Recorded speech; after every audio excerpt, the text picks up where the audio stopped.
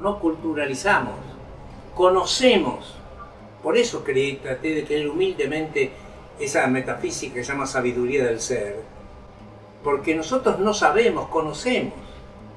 A mí me dio la universidad tres títulos perfectos para defenderme en la vida, pero no me enseñó a ser ser humano, a saber cómo me comunico con el ser humano, quién soy yo.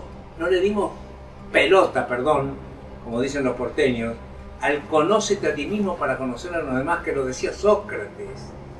En aquellos años maravillosos de Jesús, cuando va a Grecia y empieza a empaparse la filosofía griega, se enamora de Sócrates, conócete a ti mismo para conocer a los demás. Es un adolescente y empieza también a tomar a Platón y a Pitágoras.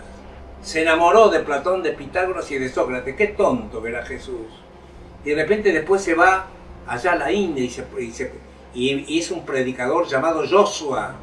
Y estuvimos nosotros en el Triángulo de Oro, a donde predicó en el desierto este señor llamado Jesús, el Cristo. Se llamaba Emanuel, pero era, auténticamente se llamó primero Joshua, el enviado en la India, y después su primo hermano, Juan el Bautista, todo el mundo en Palestina creía que era el Mesías.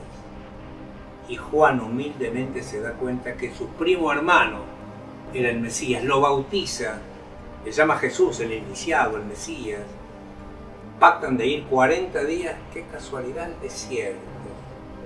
Y ahora me di cuenta en la India por qué él predicaba en el desierto. En el desierto el hombre está solo. Conócete a ti mismo para conocer a los demás.